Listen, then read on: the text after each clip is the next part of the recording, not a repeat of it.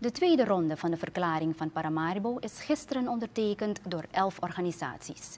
Dit vond plaats in restaurant Spice Quest tijdens een business lunch aangeboden door Parea. Parea is de vereniging van gay professionals in Suriname. De vereniging werkt eraan dat er in bedrijven genderneutrale cao's worden afgesloten. Dat houdt in dat dezelfde rechten gelden voor zowel hetero- als homoseksuele werknemers. Parea doet dat in samenwerking met de Nederlandse ambassade.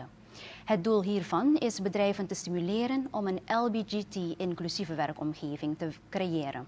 Parea-voorzitter Juan Pigot is verheugd dat deze sessie voor de tweede keer is ondertekend.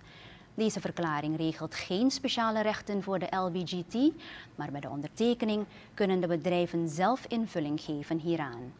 Parea zal een coördinerende rol hebben in het geheel. Het is de bedoeling om de verklaring met de regio te delen.